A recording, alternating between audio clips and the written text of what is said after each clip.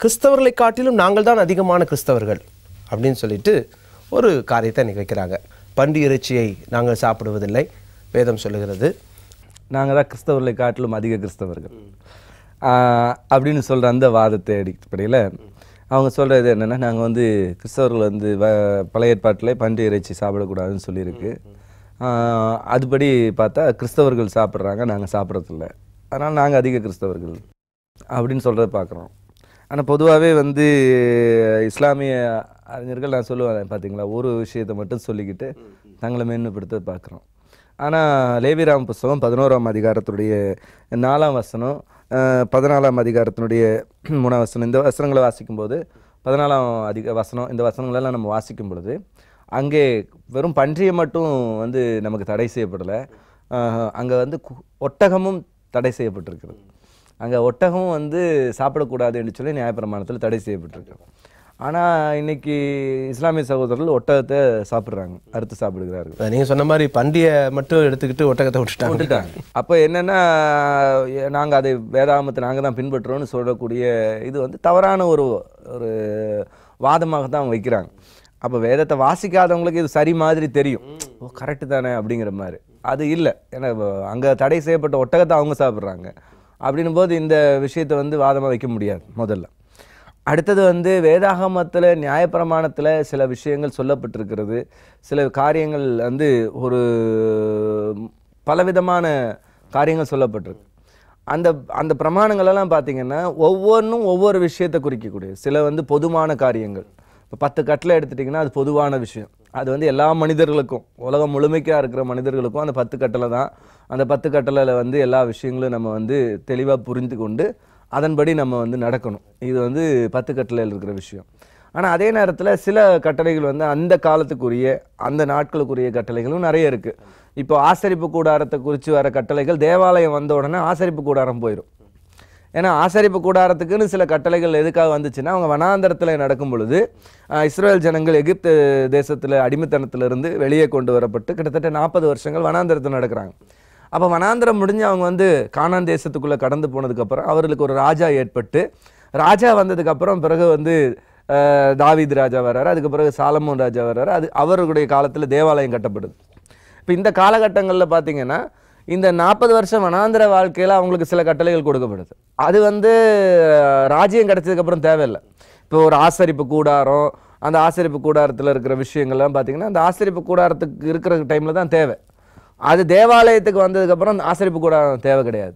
அப்போ இது போல் ஒவ்வொரு நிறைவேறுதலுக்கும் பிறகு அங்கே பார்த்தீங்கன்னா கட்டளைகள் மாறும். இப்போ நியாயப்பிரமாணத்துடைய கட்டளைகளில் கர்த்தர் ராஜாவாக இருக்கும்போது சில கட்டளைகளை கொடுத்தாரு. அவர் தான் அந்த இஸ்ரேல் ஜனத்துக்கு ராஜாவாக இருந்தார். ஆனால் இஸ்ரேல் ஜனங்கள் என்ன பண்ணுறாங்க ஒரு பீரியடில் கத்தரை விட்டு அவங்க உலக பிரகாரமாக மற்ற ஜாதிகளை போல் எங்களுக்கு ஒரு ராஜா வேணும்னு சொல்லும் பொழுது கடவுள் சொல்கிறாரு அவன் வந்து கட்டளைகளை மாற்றுவான் சில ஆட்களை வந்து அவன் அவன் தனக்குன்னு எடுத்துக்குவான். அப்படின்னு ராஜாவை பற்றி சொல்லும் பரவாயில்ல எங்களுக்கு ராஜா வேணும். அப்படின்னு சொல்லுவான் ராஜாவுக்குள்ள கொடுக்குறார். அப்போ ராஜாக்கள் வளரும்போது சில சட்டங்கள் மாறுகிறது. அரசியல் சட்டங்கள் எல்லாம் மாறுகிறத பார்க்குறோம். அப்போ இது என்னென்னா நடைமுறையில் இருக்கக்கூடிய விஷயங்கள். அப்போ அது அங்கே இருக்கிற சட்டம் வந்து அடுத்து மாறும் பொழுது அது மாற்றப்படக்கூடிய விஷயங்களை நீங்க சொன்ன அருமையா அருமையான வார்த்தை என்னன்னா ஒரு கட்டத்தை விட்டு அடுத்த கட்டத்துக்கு போகும்போது அந்த கட்டளைகள் மாறுகிறது. மாறுது. அதாவது இப்போ ஆசரிப்பு கூடாரத்துல இருந்து தேவாலயம்.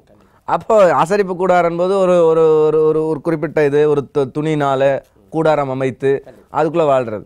ஆனா அதே ஆலயம் போது அது கட்டிடங்கள் அதுக்குள்ள வர்ற அமைப்புகள் இதெல்லாமே மாறுது அப்போ இதுக்கு எல்லாத்துக்கும் மாற்றங்கள் இருக்கு அப்படிங்கிறத நம்ம முதல்ல புரிந்து கொள்ளணும் வேதம் அதை தெளிவா நமக்கு கற்றுக் கொடுக்குது.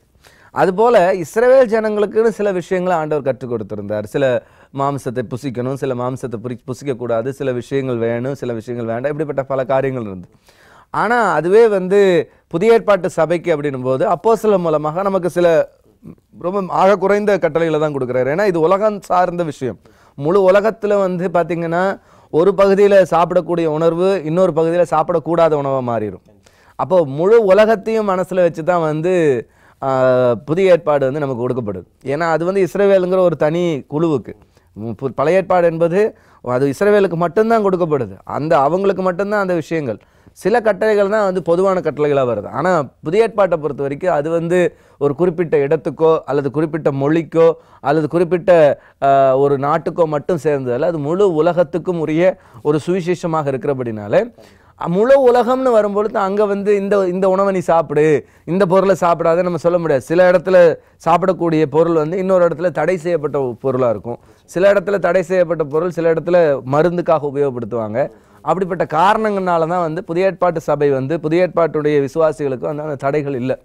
அது முதல்ல நம்ம புரிந்து கொள்ளணும். அதான் வந்து ஆசிரிப்பு கூடாரத்தில் வந்து தேவாலயத்துக்கு போகிற அந்த தன்மையை நான் ஒப்பிட்டு சொன்னேன்.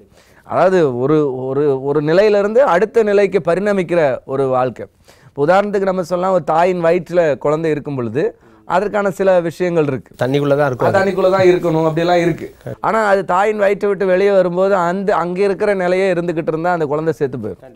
அப்போ இதுதான் மாற்றம். அப்போ ஒரு நிலையில இருந்து அடுத்த நிலைக்கு வரும்போது சில மாற்றங்கள் அதுக்கு தேவைப்படுது. அதைத்தான் இறைவனும் வந்து தன்னுடைய வேதத்திலையும் வந்து அப்படிதான் வச்சிருக்கிறார். அப்போ அது போல இந்த மாதிரி விஷயங்களை நம்ம பார்க்குறோம். ஆனா